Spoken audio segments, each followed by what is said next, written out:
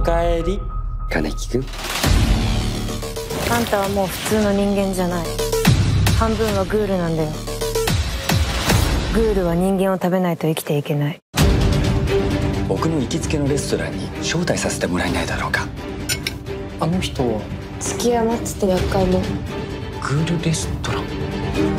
その瞳を見た瞬間から僕の心は君でいっぱいだった。山さん楽しも。う乱暴しようってわけじゃないんだ。正確に言えば金木君が食べながら。金木君を食べたい。